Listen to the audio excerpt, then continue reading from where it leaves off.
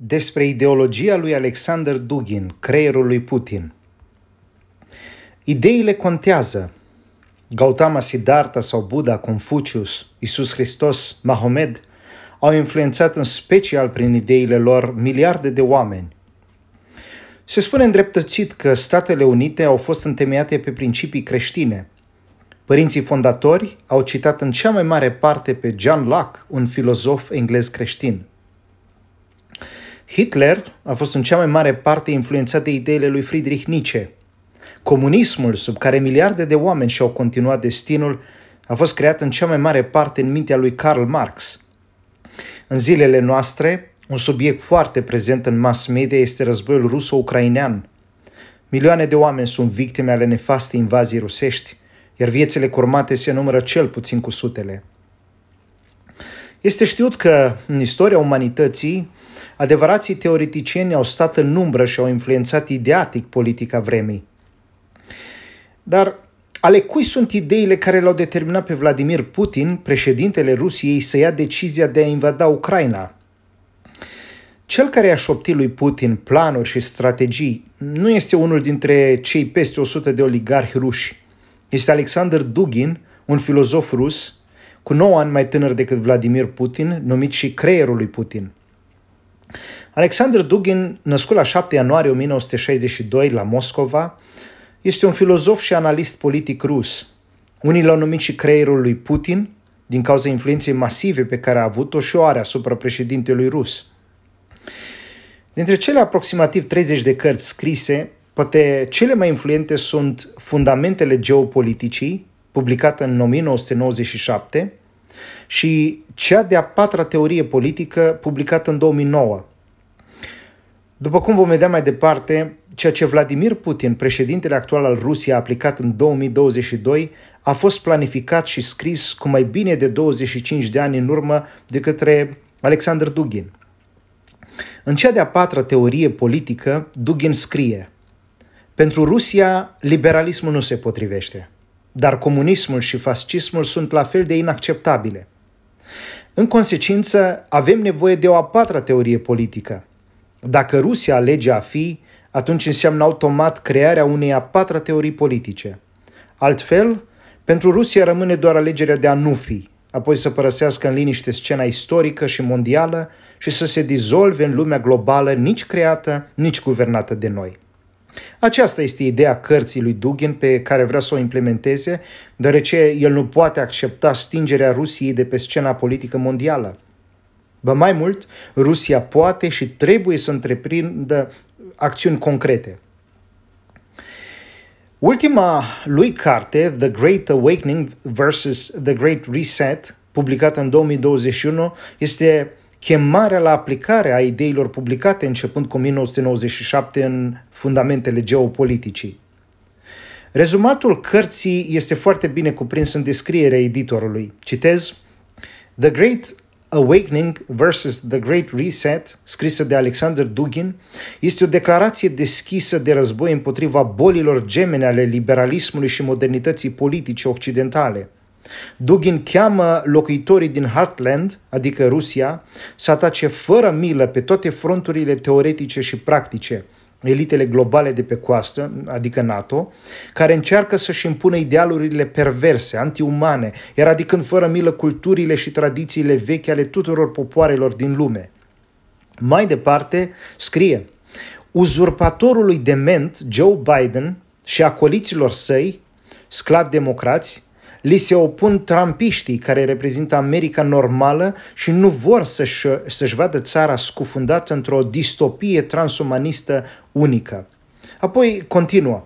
Astfel, scena este pregătită pentru o confruntare de proporții cu adevărat apocaliptice, care pune în față forțele mâniei drepte, cei care doresc să păstreze tradițiile și adevărata bogăție a diversității umane, împotriva lui Anticrist și a slujitorilor săi susținuți de Soros, ai degenerării insidioase și a răului care doresc să eradicheze toate relațiile și comunitățile umane până la rasa umană în sine. Dugin vede în Joe Biden un președinte slab și propune Rusiei trecerea la acțiune. Cartea de bază este Fundamentele Geopoliticii, o carte de 600 de pagini. Însă The Great Awakening versus The Great Reset este însuși strigătul de război al Rusiei, deși cartea are aproximativ 100 de pagini. Care este ideologia lui Dugin? Dugin împarte lumea în două grupuri de interese, globaliștii sau mondialiștii și mișcarea eurasiatică. Democrațiile liberale reprezintă partea globalistă, mondialistă sau atlantistă, în vreme ce Rusia este pivotul mișcării eurasiatice. Având în vedere că Rusia se întinde pe două continente, Asia și Europa, a dobândit o poziție strategică unică pe care trebuie să și-o impună și să și-o apere. Așadar, devizele lui Dugin sunt controlul Rusiei asupra Eurasiei și distrugerea hegemoniei Statele Unite. În fluxul cărții Fundamentele Geopoliticii este și cartea cea de-a patra teorie politică, publicată 12 ani mai târziu. Dugin pretinde că după liberalism, fascism și comunism, soluția ar fi o nouă teorie, bineînțeles, cea propusă de el. În fundamentele geopoliticii, Dugin folosește cuvântul grecesc catehon, adică cel care îl oprește pe anticrist. Așadar, în viziunea lui, Biserica Ortodoxă are nu doar un rol politic, ci și mântuitor. Dugin scrie, Ultimul și cel mai important aspect al separării bisericilor în Nest și Apus a fost respingerea de către Roma a învățătorilor patristice despre Imperiu, care nu este doar un aparat administrativ secular, subordonat cumva autorităților bisericești, așa cum papa a vrut să-și imagineze, ci un organism soteriologic misterios, implicat activ în drama eschatologică ca un obstacol în calea venirii lui Anticrist, Catehon, cel care îl oprește, așa cum se indică în a doua epistolă a apostolului Pavel către tesaloniceni. Apoi, într-un alt loc, Dugin scrie – Absența statalității ortodoxe afectează direct viziunea eschatologică a istoriei politice și ortodoxe și înseamnă prezența bisericii în lume ca într-o mare de apostazie unde nimic nu oprește venirea mistică a fiului pierzării. Prin urmare, după Dugin, celelalte popoare ortodoxe ar trebui să recunoască rolul salvific al Rusiei. El scrie, Cert este că ortodoxii neruși s-au confruntat cu o dilemă. Fie recunoașterea Rusiei drept chivot al mântuirii, noua țară sfântă, Catehon, și în consecință supunerea față de autoritatea spirituală a Moscovei, fie, din potrivă, negarea posibilității unui regat ortodox. Câteva obiecții aici. Este Biserica Ortodoxă Catehonul care îl oprește pe Anticrist? Atât Luther cât și Calvin Eh, marii reformatori au considerat că papa însuși este anticristul. Așadar, poate protestanții și neoprotestanții sunt catehonul, cei care îl opresc pe anticrist. De ce ar fi Biserica Ortodoxă catehonul? Vestul a cunoscut reforme în repetate rânduri, în vreme ce în Est au fost rare sau au lipsit. Apoi, Biserica Ortodoxă, adică toți creștinii ortodoxi, nu reprezintă biserica adevărată, adică cea universală, formată din totalitatea tuturor credincioșilor din toate timpurile. Aceeași pretenție o are și Biserica Catolică. În cartea cea de-a patra teorie politică, Dugin reproșează vestului, în special Statelor Unite, legiferarea căsătoriilor homosexuale, materialismul și ateismul. Dar Statele Unite este cea mai darnică țară din lume. Cele mai bune cărți despre implicațiile etice ale homosexualității se scriu încă în Statele Unite. Cei mai buni apologeți ai creștinismului sunt tot în Statele Unite.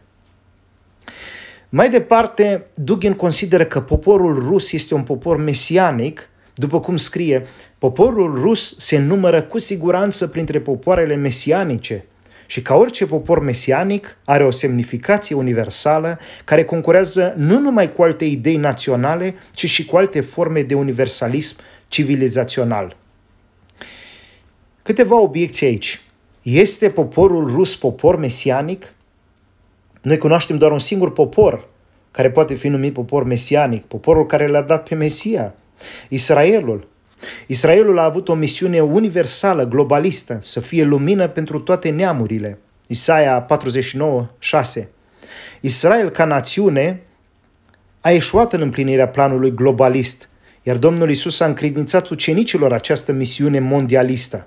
Duceți-vă și faceți ucenici din toate neamurile, adică toate etniile, botezându-i în numele Tatălui și al Fiului și al Sfântului Duh. Matei 18, 19.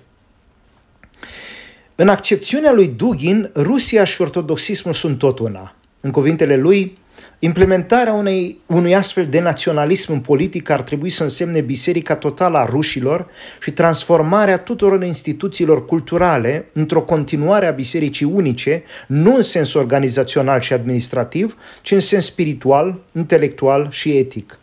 Numai într-un mod radical rușii pot fi într-adevăr redați în sânul bisericii, care stă la baza existenței lor naționale, istorice și care, în trăsăturile sale de bază, a modelat ceea ce se numește rus în sensul cel mai înalt. Câteva obiecții. Cum rămâne cu cei aproximativ 14% ruși care sunt atei? Poți fi numit rus dacă ești ateu? Asta e o întrebare la căreia Dugin ar trebui să-i răspundă. Ce se întâmplă cu rușii care aparțin altor denominații religioase? Sunt ruși catolici, baptiști, penticostali. Apoi, niciodată în Biblie Dumnezeu nu a confundat etnia cu religia. De exemplu, la Roman 2.28, Apostolul Pavel clarifică faptul că evreu adevărat, care are credința lui Avram, este cel născut din nou, adică cel cu inima circumcisă. Dugin consideră că înainte de toate rușii sunt ortodoxi, după cum scrie. Rușii ar trebui să-și dea seama că în primul rând sunt ortodoxi, în al doilea rând ruși și doar în al treilea rând că sunt oameni. De aici ierarhia priorităților atât în viața personală cât și în cea publică. Mai presus de toate, conștiința de sine ortodoxă a națiunii ca biserică, apoi o înțelegere clară a indivizibilității, integrității, totalității și unității organismului etnic rus. Contrar opiniei lui Dugin, rușii sunt înainte de toate oameni, nu ortodoxi. Ei pot fi atei, catolici, evanghelici, musulmani, budiști. Dumnezeu nu doar că nu a confundat religia cu etnia, dar nici nu a impus vreodată vreo religie. Dugin pretinde că după căderea Constantinopolului sub musulmani, 1453, Moscova a devenit cea de-a treia Romă. Citez, în Rusia monarhistă, tocmai latura culturală și religioasă, fidelitatea nominală față de tradițiile sacre, memoria idealului Sfintei Rusii, a Sfântului Regat și a Moscovii, a treia Romă, a fost pozitivă. Biserica Ortodoxă, ca bastion al adevărului dogmatic, o simfonie a autocrației, o conștientizare a misiunii istorice a poporului rus, purtător de Dumnezeu, sunt simboluri spirituale ale, adevărului, ale adevăratului imperiu rus care au valoare arhetipală de durată. Un alt citat, în aceeași ordine de idei. Înființarea patriarhiei în Rusia și proclamarea Moscovei ca a treia Romă este direct legată de soarta mistică a ortodoxiei ca atare. După căderea Constantinopolului, Rusia rămâne singurul spațiu mare geopolitic în care a existat politică ortodoxă și biserică ortodoxă. Rusia devine succesorul Bizanțului atât din motive teologice, cât și la nivel geopolitic. După Dugin, Rusia este așezată în aceeași regiune a Edenului. Tot în aceeași cheie etno-religioasă, Dugin scrie Estul, în geografia sacră, pe baza simbolismului cosmic, este considerat în mod tradițional țara spiritului, țara paradisului, țara plinătății, abundenței, patria sacrului în cea mai completă și perfectă formă. În special, această idee este reflectată în textul Bibliei, care se reflectă, referă la locația estică a Edenului, scrie Dugin. Contrar opiniei lui Dugin, Rusia nu este bastion al adevărului dogmatic. Cele mai bune și multe cărți într-o apărare a credinței creștine s-au scris și se scriu încă în vest. De exemplu, Richard Vorbrand, un evreu român-american, a scris răspuns la Manualul Ateului. Manualul Ateului a fost scris la Moscova, o carte de 700 de pagini pentru a demonta creștinismul și a apăra ateismul. Dugin mai aduce în discuție și controversa Filiocve, 1054, și alte divergențe teologice doar pentru a-și susține naționalismul extremist. Pentru filozoful rus Rusia, fiind la est, este partea tărâmului vieții. Citez, din punctul de vedere al simbolismului natural, răsăritul este locul unde răsare soarele. De aici vine răsărit, lumina lumii, simbolul material al divinului și al spiritului. De cealaltă parte, Dugin asociază vestul cu tărâmul morții. Citez, Occidentul are exact sensul simbolic opus. Acesta este țara morții, lumea morților, țara verde, cum o numeau egiptenii antici. Occidentul este regatul exilului, fântâna alienării, așa cum au spus misticii islamici. Occidentul este un anti-est, o țară a apusului, a declinului, a degradării, a trecerii de la manifest la nemanifest, de la viață la moarte, de la plinătate la sărăcie. Vestul este locul unde apune soarele. Dacă estul este locul grădinii, am putea obiecta, grădinii Edenului, cum spune Dugin, atunci tot estul este și locul căderii omului, a degradării, a blestemului și a morții. Dugin este preferențial și inconsecvent. Dumnezeu sfințește locul când omul trăiește în ascultare de Dumnezeu, adică în sfințenie. De exemplu, Atât în Vechiul Testament cât și în Noul Testament Dumnezeu a distrus casa lui, templul, din cauza neascultării oamenilor. Pământul însuși a fost blestemat din cauza omului. Rusia și alte religii. În continuare, un citat despre Rusia și alte religii. Reprezentanții altor grupuri etnice și religii cu greu și-ar dori să trăiască într-un stat naționalist ortodox rus – dar trăirea alături de poporul ortodox rus care profesează o ideologie națională în cadrul unui singur imperiu continental, unit geopolitic și, și strategic, dar flexibil și diferențiat în structura sa internă, din potrivă, nu reprezintă nimănui dificultăți, întrucât va exista întotdeauna o autoritate superioară în fața căreia comunitățile etnoreligioase au statut egal și care sunt conduse în baza unor principii imparțiale ale armoniei și justiției imperiale. Contrar opiniei lui Dugin, dacă etnia este identică cu religia, atunci prozelitismul nu are loc. Așa se face că în 2016 Rusia a năsprit legile împotriva prozelitismului, iar viața evanghelicilor, de exemplu, a devenit mai grea. Încă un aspect. În cazul în care comunitățile sunt etnoreligioase, atunci deconvertirea și convertirea nu au loc și de asemenea reformele nu pot să aibă loc. Dugin scrie despre diferența dintre teologia răsăriteană și teologia apuseană, dar bineînțeles cu aplicație subiectivă, politică. El scrie, Apusul s-a întemeiat pe teologia raționalistă a lui Toma d'Aquino, Orientul a continuat linia teologiei mistice a apofatismului și a vieții monahale, cel mai bine întruchipat în textele marelui Isihast de la muntele Atos, Sfântul Grigorie Palama. Acum, întrebarea care se ridică e care e preferabil? Misticismul sau raționalismul? Creștinul are nevoie atât de misticism, care se referă la relația tainică cu Dumnezeu, cât și de raționalism, terenul comun pentru dialog.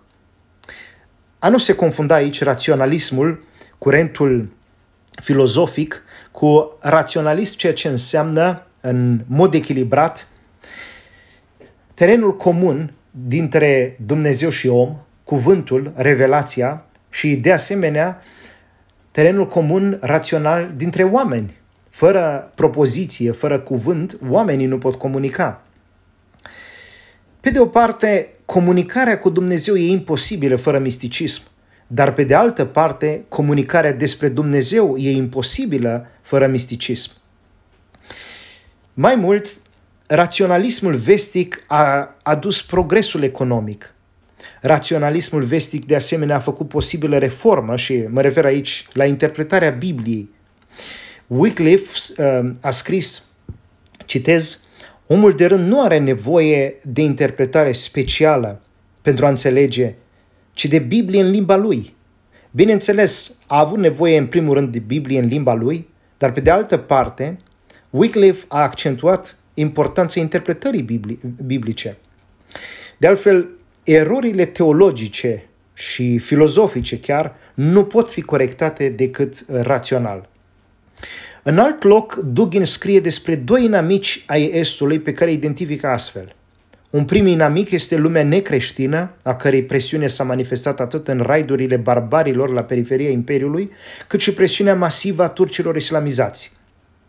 Cel de-al doilea dușman al Estului este lumea creștină din Occident, privită nu numai ca țara ereziei latine, ci și ca o lume a apostaziei, ca o țară a oamenilor care cunoșteau adevărul și mântuirea, dar i-au părăsit, i-au trădat. E important de subliniat că, pe de o parte, el vede islamul ca aliat împotriva Statelor Unite și se referă mai mult la Iran, Pakistan și Afganistan. Pe de altă parte, el vede în islam un dușman, dar nu orice islam, ci Turcia musulmană. Cu alte cuvinte, Turcia este unul dintre cei doi mari inamici ai Estului, nu islamul în general, după Dugin. Observația și sublinierea, sublinierea anterioare reies foarte bine din, uh, din următorul citat. Uh, mă refer la observația referitoare la islamul din Turcia și islamul uh, din Iran, Pakistan și Afganistan. Dugin scrie, o altă caracteristică a neo-eurasianismului este alegerea țărilor islamice, în special Iranul continental, ca cel mai important aliat strategic. Ideea unei alianțe continentale ruso-islamice se află în centrul strategiei anti-atlantice pe coasta de sud-vest a continentului eurasiatic. La nivel doctrinar, această alianță se bazează pe caracterul tradițional al civilizațiilor ruse și islamice, care le unește în opunerea Occidentului anti, antitradițional, laic, pragmatic. Având în vedere că în repetate rânduri Dugin amintește de anticrist, niciodată, probabil nicăieri în, în cărțile lui, nu se vede inconsecvența lui mai bine ca în poziția lui față de islam. Asta deoarece, ținând cont că apostolul Ioan scrie, cine este mincinosul dacă nu cel ce tăgăduiește că Isus este Hristosul, acesta este anticristul care îl tăgăduiește pe tatăl și pe fiul, 1 Ioan 2 cu 22.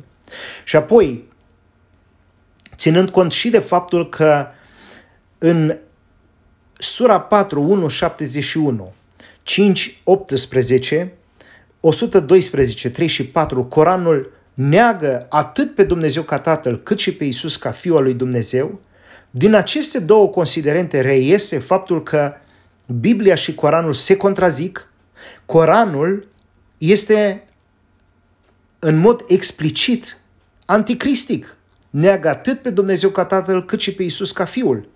Prin urmare, cum sunt Rusia și Biserica Ortodoxă Catehonul dacă, conform lui Dugin, Rusia ar trebui să dea mâna cu islamul, cel puțin islamul iranian. Apoi, considerând faptul că pentru Dugin nu există religie, ci etnoreligie, întrebarea pertinentă pe care ar trebui să o ridice orice musulman este poate un rus să fie musulman? Mai mult, și islamul are aspirații globaliste, mondialiste. De fapt, Dugin recunoaște că Arabia Saudită este atât aliată a Statelor Unite, cât și mondialistă ea însăși.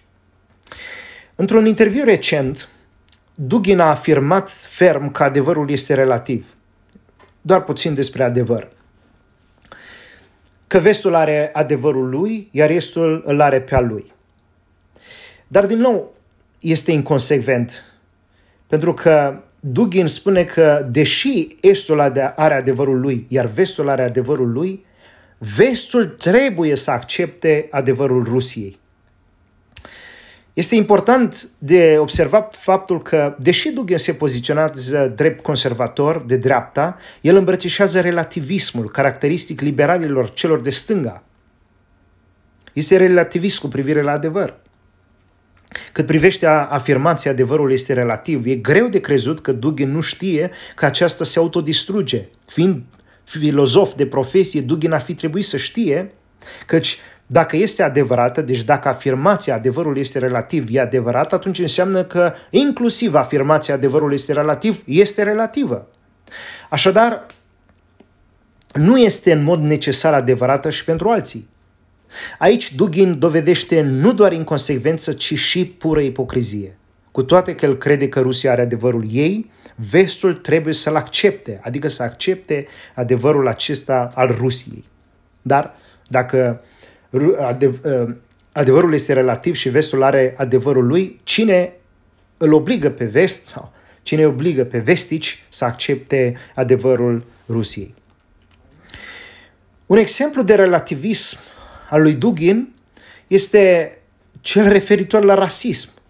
El dă o definiție nemai întâlnită, scriind, există și alte forme de rasism. Rasismul cultural, afirmând că există culturi înalte și joase, civilizațional, împărțirea oamenilor în cei civilizați și cei insuficient civilizați, tehnologic, privind dezvoltarea tehnologică drept principalul criteriu al valorii societale, social, afirmând în spiritul doctrinei protestante a predestinării că bogații sunt mai buni și cei mai mari în comparație cu cei săraci, total în afara realității protestante, că numai asta nu afirmă predestinarea protestantă, apoi rasism economic, pe baza căruia întreaga umanitate este clasificată în funcție de regiunile de bunăstare materială, și rasismul evoluționism, spune Dugin, pentru care este axiomatic că societatea umană este rezultatul dezvoltării biologice în care procesele de bază ale evoluției speciei, supraviețuirea celui mai apt, selecția naturală, etc., continuă și astăzi. O definiție pe care cu siguranță nu o găsim în niciun dicționar uh, explicativ. Dugin și geopolitica. Mai întâi, ce este geopolitica? Geopolitica se referă la studiul relației dintre condițiile geografice ale unui anumit loc și implicațiile acestora în deciziile politice care se iau și care afectează aceste teritorii. Se pare că pentru prima dată termenul geopolitică a fost uh, creat de către Rudolf Kellen, un teoretician și politic uh, și uh, analist politic suedez. În ciuda Puțin despre China. Care este opinia lui Dugin, sau cel puțin ce scria Dugin în 1997 despre China? În ciuda aparențelor și a opiniei unora, Dugin nu este deloc favorabil cu privire la China, după cum scria în fundamentele geopoliticii. China este cel mai periculos vecin geopolitic al Rusiei din Sud. În unele privințe, rolul său este similar cu cel al Turciei, dar dacă Turcia este în mod deschis membra NATO, iar atlantismul său strategic este evident, atunci cu China totul este mai complicat. China este periculoasă pentru Rusia din două motive. Ca bază geopolitică a atlantismului și în sine ca țară cu o densitate demografică crescută în căutarea spațiilor libere. Dugin și Statele Unite. Când vine vorba despre Statele Unite, acestea cu siguranță sunt cel mai mare dușman din punctul de vedere al lui Dugin. Dugin scrie, ar trebui să ne amintim întotdeauna că pentru Statele Unite ale Americii sarcina principală este de a preveni apariția unei alternative geopolitice, orice alternativă. Prin urmare, este complet corect ca toate forțele antimondialiste să propună teza exact opusă. Sarcina principală este de a crea o alternativă geopolitică, indiferent care ar fi ea. Mai departe, un alt citat relevant. Proiectul eurasiatic presupune extinderea eurasiatică în America de Sud și Centrală, în vederea eliminării acesteia de sub controlul Nordului. Aici factorul spaniol poate fi folosit ca alternativă tradițională la cel anglosaxon, precum și provocând toate tipurile de instabilitate și separatism în Statele Unite. Pentru aceasta, pentru aceasta se poate apela și la forțele politice ale rasisti, rasisti, rasiștilor afroamericani. Adică Dugin scrie aici și dacă se poate genera un conflict intern care să destabilizeze Statele Unite, el trebuie hrănit. Dar următorul citat dovedește cel mai bine ura și dovedesc cel mai bine ura și invidia lui Dugin față de Statele Unite. Este necesar să ne opunem geopoliticii atlantice a Statelor Unite la toate nivelurile și în toate regiunile Pământului, încercând slăbirea, demoralizarea, înșelarea și în cele din urmă învingerea inamicului. În acest caz, este deosebit de important să aducem dezordinea geopolitică în realitatea interamericană, încurajând tot felul de separatisme, diverse conflicte etnice, sociale și rasiale, sprijinind activ toate mișcările dizidente ale grupurilor extremiste, rasiste, sectare, destabilizând procesele politice interne din Statele Unite, în același timp are sens să susținem tendințele izolaționiste din politica americană, Tezele acelor cercuri, adesea de dreapta republicane, care consideră că Statele Unite ar trebui să se limiteze la problemele sale interne. Această stare de fapt a Rusiei este extrem de benefică. Așa se face că Dugin a fost și încă este foarte favorabil conducerei lui Donald Trump. Pentru că Donald Trump, printre altele, a spus că Statele Unite ar trebui să fie preocupate de politica internă, să se retragă, așa s-a ordonat retragerea trupurilor din Afganistan, iar Dugin consideră că astfel de politică ar trebui să ducă Statele Unite, dar bineînțeles, sigur n-ar fi mulțumit să fie stabilă din punct de vedere politic, fără implicare externă. El uh, consideră că demersul trebuie continuat și trebuie Uh, influențate, influențate atât grupările interne ale Statelor Unite cât și cele externe pentru destabilizarea politică a întregii țări. Câteva obiecții referitor la opinia lui Dugin cu privire la Statele Unite. Scopul nu scuză mijloacele. Nu putem apela la mijloace imorale chiar dacă scopul ar fi moral, dar mai ales când scopul nu are justificare morală. Nu găsim nicăieri învățătura aceasta nici în Vechiul Testament, nici în Noul Testament, cum că scopul ar scuza mijloacele, chiar dacă, de exemplu, Iacov în Vechiul Testament a obținut dreptul de întâi născut prin înșelare, prin minciună. Minciuna rămâne minciună și dacă scopul bun este atins. Apoi, Dugin aruncă la tomberonul istoriei faptul că URSS-ul a primit ajutor de miliarde de dolari de la Statele Unite în timpul, atât în timpul celui de-al doilea război mondial, cât și după încheierea războiului prin planul Marshall. În vreme ce fostul URSS și Rusia de azi nu pot indica spre o singură țară asupra căreia să fie avut o influență pozitivă, indiferent de ce natură, Statele Unite au contribuit la ridicarea economică a zeci de țări și au influențat pozitiv tot atâtea. Sigur, cineva ar putea spune, da, dar Statele Unite au avut interes. Cu siguranță au avut interes. Au avut interes când au ajutat Germania, când au ajutat Japonia. Însă n-a avut nicio garanție că ajutând Rusia va putea ulterior să aibă relații diplomatice, relații economice amicale, să fie un parteneriat cel puțin la nivelul pe care l-a avut și l-are Statele Unite cu Germania, cu Japonia. N-a avut nicio garanție și totuși a ajutat URSS-ul de atunci. Așadar, obiecția asta nu, nu stă în picioare pentru că, la urma urmei, ce țară nu are și un obiectiv personal, nu are interese personale când încheie un tratat. Cu toate acestea, rămâne adevărat faptul că Statele Unite a ajutat uh, la ridicarea multor țări, 10 de țări aș putea spune, peste 30 de țări uh, la nivel mondial, în vreme ce Rusia nu poate indica spre o singură țară pe care să o fi influențat pozitiv. Am urmărit un dialog sau dezbatere pe care Dugin a avut-o, o dezbatere pe care Dugin a avut-o cu renumitul teoretician și analist politic american Francis Fukuyama. Francis este întrebat de Dugin. Cum rămâne cu atrocitățile pe care Statele Unite le-au comis în Irak, în Siria și în alte țări? La care Fukuyama răspunde, Statele Unite au făcut și mult rău, dar noi am făcut filme despre asta, am scris cărți, articole, i-am criticat deschis pe politicieni și am protestat împotriva lor. Rusia ar fi trimis pe toți în Siberia. Exact așa este. Fukuyama a avut dreptate. Într-un alt interviu, Dugin a criticat vestul că îi cenzurează cărțile și, de exemplu, pe Amazon nu sunt vândute. Într-o vreme nu puteai găsi pe Amazon, nu știu cum, dar nu puteai găsi, de exemplu, fundamentele geopoliticii sau cea de-a patra teorie politică.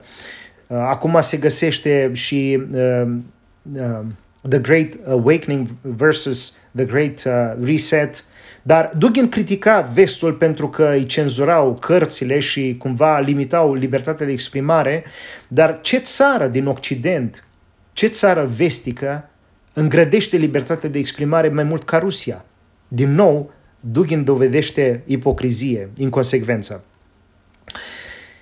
Câteva observații ale lui Dugin despre Europa. După Dugin, Rusia ar trebui să ocupe tot țărmul Atlantic, dar el realizează că e imposibil.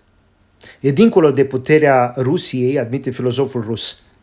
Dar dacă nu e posibil, atunci bine ar fi ca Europa de vest să fie independență, independență, independentă față de SUA, iar Germania ar trebui să fie pionul central al Occidentului. În mod ironic și în ciuda așteptărilor lui Dugin, în războiul ruso-ucrainean din anul curent, Germania a fost unul dintre cei mai mari susținători ai Ucrainei și a regretat și a regretat prea multă dependență de gazele rusești. Dugin și cordonul sanitar. La ce se referă Dugin când uh, amintește de, când vorbește de cordonul sanitar? Cordonul sanitar se referă la Țările cuprinse între Marea Baltică și peninsula balcanică, care are menirea de a servi drept zonă tampon între Europa de vest, bineînțeles independentă față de SUA și Rusia. Aici ar intra țări precum Finlanda, țările Baltice, Polonia, Ucraina de vest, România și alte țări până la Grecia inclusiv. Câteva cuvinte despre Dugin și România. Ce spune Dugin despre România? Dugin alocă câteva rânduri și României, bineînțeles nu numai României și multor altor țări. În opinia lui, fiind majoritar ortodoxă, România ar trebui să intre în sfera de influență a Rusiei. Totuși, originea latină a limbii române, cât și prezența unor minorități non-ortodoxe pe teritoriul ei, îi conferă mai degrabă un statut de țară vestică. Adică Duchin este conștient că există minorități catolice, minorități religioase, catolice, protestante, neoprotestante. Prin urmare, concluzionează Dugin, România ar trebui să intre în sfera de influență vestică. Surprinzător, Dugin este pentru unirea României cu Republica Moldova. Deci ar trebui, România Mare ar trebui uh, realcătuită. Bineînțeles, nu scrie despre nordul Bucovinei, nu scrie despre uh, alte ținuturi pe care România uh, le-a pierdut de-a lungul timpului, dar cel puțin vorbește despre unirea României cu Republica Moldova și este agreabil Uh, cu, cu privire la unirea României. Și acum, înainte de concluzii, câteva despre intriga de astăzi, despre Dugin și Ucraina. Probabil aici se vede influența, se vede cel mai bine influența lui Dugin asupra lui uh, Vladimir Putin. În 2014 Vladimir Putin anexează Crimea. În 24 februarie, în anul curent, uh, invadează Ucraina, dar toate acestea nu sunt altceva decât idei pe care Dugin le-a scris începând cu 1997 și nu sunt altceva, deci invazia lui Putin în Ucraina nu este altceva decât chemarea lui Dugin sau strigătul de război al lui Dugin conținut în cele 98 de pagini în cartea uh, publicată anul trecut, The Great Awakening versus The Great uh, Reset. Uh, am dat titlul în limba engleză pentru că uh, nu este în limba română deocamdată. Câteva citate despre Dugin uh, și opinia lui față de Ucraina. Dugin scrie, suveranitatea Ucrainei este un fenomen atât de negativ pentru geopolitica rusă încât în principiu poate provoca cu ușurință un conflict armat. Ucraina ca stat nu are sens geopolitic. Nu are niciun anumit mesaj cultural de semnificație universală, nici unicitate geografică, nici exclusivitate etnică.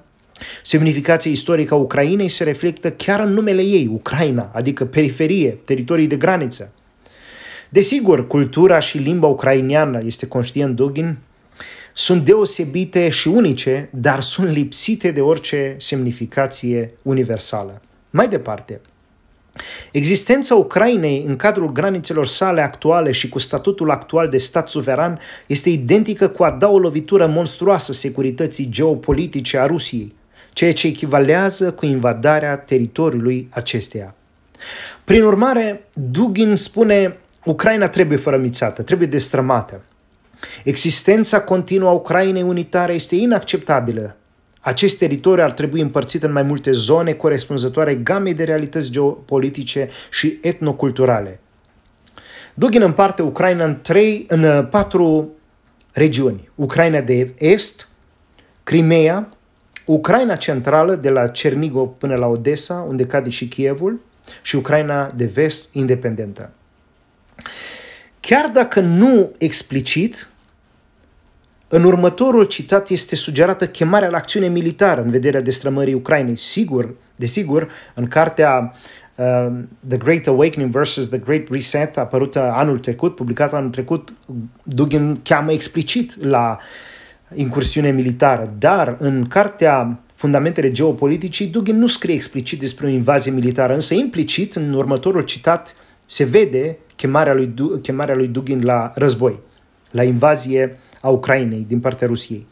Având în vedere că simpla integrare a Moscovei cu Kiev este imposibilă și nu va oferi un sistem geopolitic stabil, Moscova ar trebui să se implice activ în reconstrucția spațiului ucrainean conform unei geopolitici logice și naturale unice. Concluzii. În ciuda etnoreligiei înaintată de Dugin, cu greu se poate spune că Dugin este creștin. Citeam undeva, nu știu cât este de adevărat, dar uh, un uh, istoric și biograf uh, al lui Dugin, rus, scria că la 18 ani, când avea 18 ani, Dugin ar fi frecventat chiar un, uh, o grupare satanistă.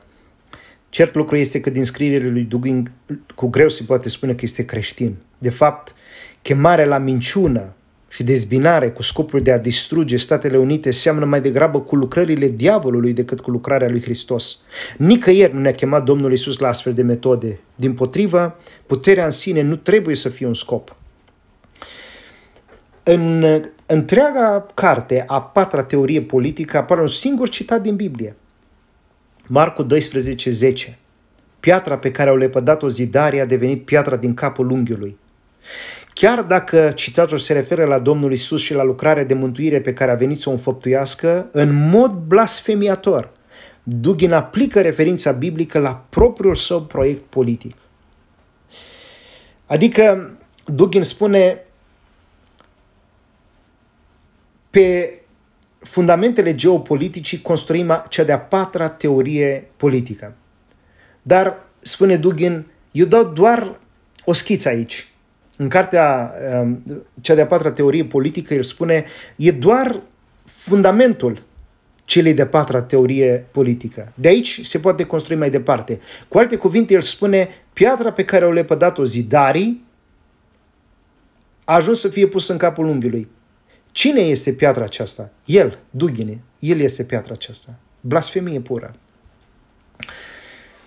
Întregul sistem de gândire a lui Dugin, și mă refer la Cartea Fundamentele Geopoliticii, este construit pe dorința de supremație, de dominare, de putere. El folosește concepte teologice și filozofice care apar sporadic în cărțile Fundamentele Geopoliticii și cea de-a patra teorie politică. Dar toate astea nu sunt decât pretexte pentru scopul larg politic.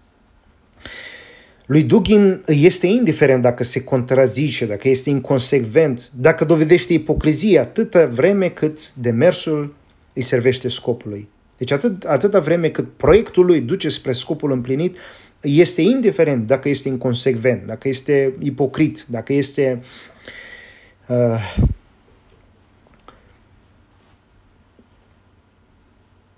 da, dacă este inconsecvent și dacă este uh, dacă se contrazice. C.S. Lewis spunea, filozofia bună trebuie să existe și dacă nu pentru un alt motiv, măcar pentru a răspunde filozofiei proaste. Gândirea lui Dugin merită cunoscută și dacă nu pentru vreun alt obiectiv, măcar pentru a fi combătută. Vladimir Putin și-a început invazia în Ucraina cu propaganda conform căreia Rusia trebuie să fie eliberată de nazism, după cum Stalin a eliberat Europa de nazismul lui Hitler.